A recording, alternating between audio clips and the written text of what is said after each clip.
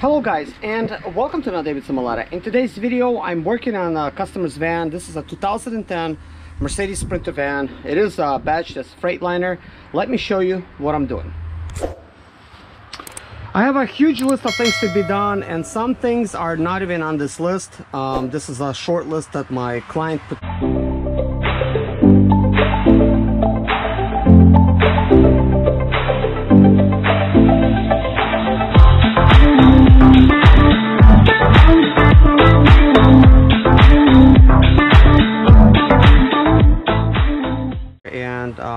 upon observation there was a lot more. And uh, certain things uh, we didn't actually talk about like this U-joint on drive shaft which is non-serviceable U-joints on the drive shaft.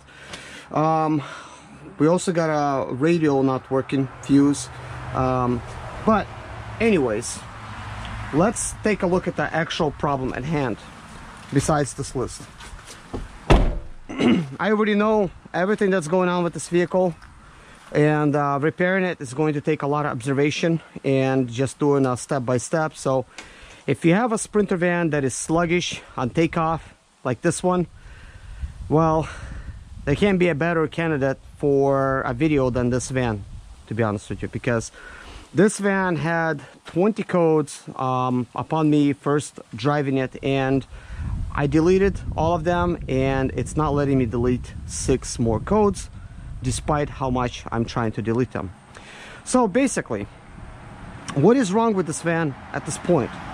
Well, it starts up fine, but when you start driving it and getting out on the road, it barely accelerates to 30 miles an hour, which I will show you.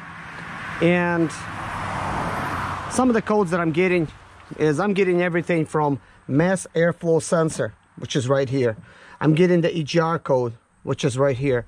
I'm getting the uh, intake swirl valve codes, which are like right there on both sides. Um, also, the fuel filter has never been replaced. There's a good chance uh, there's a fuel problem. Um, also, uh, the turbo, which is back there, that's basically deactivated and it's uh, not doing its thing the way it needs to be doing. Um, the vehicle is acting as if it cannot breathe, so it is in limp mode. Like it's driving actually a lot worse than turbo limp mode. Like if it was just a turbo alone, we could have at least accelerated very slowly to 60 miles an hour. Like in this van, trying to get up to 30, it's like, wow, you know, just really hard to do. So also, this is the vehicle with the DEF system on here. Um, the EF system might be okay, but the EGR is not. Here's the EGR. Um, I'm really sorry for all the noise folks. I have a particular filter underneath which I haven't looked if this could be serviced or not. Technically the customer would like it you know to get it cleaned um, or replaced. So I think we can actually work on getting it clean. Um, I have a couple ways of doing it but that's not to be the primary focus. Also we have an issue with the brakes. Um, the brakes are not that good so we're gonna have to work on those. Um, we're gonna have to replace all the fluids like engine oil transmission fluid. We got rear differential fluid. We're gonna replace uh, the radiator fluid. We're gonna replace all the pulleys. Um, I was told that the belt was replaced. We're not sure which belt. I could see the little belt here. That possibly was the one that's replaced because I could see the lettering on it. Uh, that other one next to it uh, it's got a bunch of lines. It looks like an old belt, so I'm going to have to let my client know. If he wants that back in there, that's fine. Also, we have another issue. There's uh, some kind of oil leak that is happening. And there's a lot of oil back here, and it does uh, drip some oil. Um, I'm going to have to monitor where it's dripping from. Uh, of course, uh, with my uh, with my ground here, you can't really tell what's going on, especially it has rained just now. So, what is the plans uh, for this vehicle? Because look we got a lot of things going on. Well at this point um, my client he's ordering all the parts for it. Because I went ahead and I asked him you know go ahead and get the cabin air filter go ahead and get the fuel filter you know get all the filters like an oil filter get the EGR um, you know go ahead and get the cabin filter the transmission filter and you know stuff like that. And he's actually getting that thing you know that stuff ordered and plus all the fluids um, as we're gonna go along. So what I'm hoping for that I could actually catch the problems uh, with this van that, you know, perhaps if we're lucky enough, we're not gonna have to deal with the swirl but, um, you know, if there is a way for me to figure it out and not have to deal with it, which is probably gonna be, you know, nearly impossible, but you never know why a vehicle is doing, you know, a particular thing. By the way, I've just loosened all these things. Uh, you know, I had to remove this to, to basically get the get the proper fuel filter um, and stuff like that for, for the client. So I was letting him know. But I've installed everything back and what I want to do is I'm, I'm going to go ahead and um, diagnose this vehicle a little bit more and little by little we're going to start getting everything replaced on here. So what I would like to do, the very first thing I would like to do is start with the basics. If I would have the air filter the air filter would be going in there first. If I would have the EGR right now, EGR would be going in there first. If I had the fuel filter, it would be going in there first. At least some of these things. Also, I do need to observe if there's any leakage in any kind of pipes here. Um, we might have a big leak. We might. We don't know that, uh, but that's um, observation. That's what observation is for. Uh, we obviously do have an oil leak. I'm not sure how serious it is or where it's coming from. So we're gonna have to uh, hunt it down.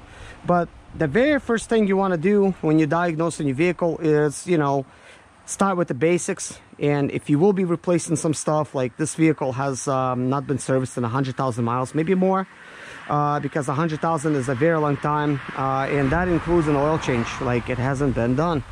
So I'm not really even sure what the uh, oil level is on this thing if somebody's been adding oil to it or what. So that remains to be seen. But anyways let's go ahead and begin. The very first thing we're gonna do is we're gonna get this thing started. And lots of lots of keys here so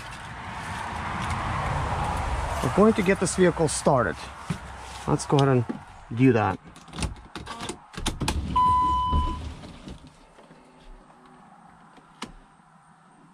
Okay. All right, as you can see, it has started just fine. The check engine light is on. So I'll make sure the windshield wipers are off. Let's go take a look at it. See if we could hear anything, smell anything, observe anything.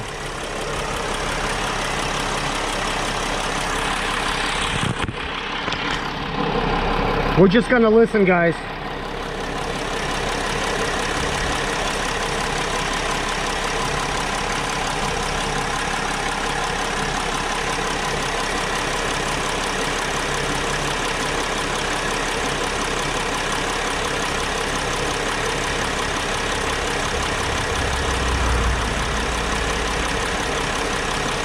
As far as the way it's running,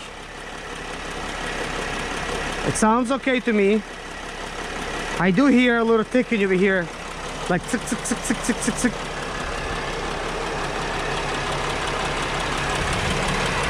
That sounds a little bit out of the ordinary. I know it's very hard to tell, but it is there.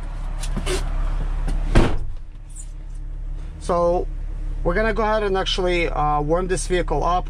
Uh, but while we're actually warming it up, let's go ahead and actually take a look at this list one more time. So I'm gonna make a bigger list uh, with everything that's gonna be pointed out every single little thing um, and then you know we're gonna go from there. Um, gonna make one that's gonna be typed up uh, for the customer uh, as well as for me so that we could uh, check things off as we go along and so that I actually know what to charge for every little job that we do on this vehicle uh, according to um, the labor per hour or per hour labor hour you know that's how you call it. But I do charge $100 an hour uh, to do this and $150 for diagnostics. It's just like regular diagnostics that I'm that I do. That's plugging in a computer and just like diagnosing and just you know scanning a computer like that regular diagnostics. But I will have to actually diagnose this thing you know going a little bit deeper which I will charge per hour as I'm actually diagnosing. Um, but that's not important right now. I'm actually not even keeping track of this here that i'm actually um, talking to you guys on this. So um, here's what we need to do. Replace the fuel filter clean DPF filter uh, or delete. It says not delete but I'm not even sure if you could really delete it on a 2000 tons, to be honest with you. Um, this is a South Carolina vehicle. It can be done but you know being that it has a DEF filter here uh, I'm not really sure but if there is clamps to remove the DPF filter I will actually do that just to see what's gonna happen um, see if the drivability improves and see what my customer wants to do. If he wants to leave it off and just put a straight pipe in there uh, see if we could actually clean the original DPF filter because uh, there is ways of cleaning it so we may have to end up doing it. So right now it is not top priority uh, top priority right now would be man just to get this thing at least above 30 miles an hour you know and then trying to get rid of these limp modes because currently it's not doing too well. So customer has here it says it's sluggish on takeoff there is obviously a limp mode that's what he wrote. Oil leak u-joint on drive shaft. Brake lights in the back are out. We're gonna check those out. Radio is not working. Um, roaring sound in the front wheels. Uh, so it might be like a wheel bearing so we may have to do wheel bearings on this. Actually I would recommend doing wheel bearings. It's uh, 500,000 miles on this thing. This is no small feat. Uh, customer wants to take this vehicle for expedite. And if you're going to be doing expedite you want to make sure that wheel bearings are solid all your pulleys you know your belts and stuff like that. Make sure you have a good EGR on there you got a good fuel filter on there good good filters all around. Just make sure it's serviced before you go because you know these are some of the basics that way you don't actually get stranded out there. Some of the other things I would do of course make sure I have a spare alternator with me make sure I have a spare starter with me. If you could have some other spares with you that would be great because any one of those things go out you could be you know really down for days days on end until you actually get those parts in order. and you know have them installed. So there is no temperature gauge on this vehicle. There is no controls on the steering wheel to find out what those temperature gauges are. So that makes it very difficult for me to tell if this vehicle is even warmed up or not but it's been long enough so we're gonna go ahead and actually rev it a little bit. So this is all we really need to do at this point as far as the revving goes. What I wanted to do is see how where does the RPM gauge goes. It only goes to 3000 RPMs that's it. It is a typical typical limp mode. So now um, the actual diagnostics you know it basically begins. I'm gonna have to do you know every little thing you know step by step um, until we get to the bigger stuff. So it's a process of elimination um, if you could call it that. So um, what I want to do now is I want to do a deeper scan um, using my iCarSoft and see if on that deeper scan if it's going to tell me anything else um, and if I could delete the codes. So for that we're going to go ahead and shut the vehicle down and I'm gonna go ahead and get my iCarSoft and start working. My name is Serge Zimaleta. I'm 37 years old, and yes, I experienced success after buying my first home for cash. Back in 2011, I was broke, but I learned to solve problems on my own. Now I'm helping others to solve their problems. I know what pitfalls to avoid to stay profitable in business. Need motivation to be more successful in your life? Have Sprinter expedite their business problems? Then subscribe. Let's find creative solutions to your problems. Hit the bell notification so you don't miss any of my helpful videos.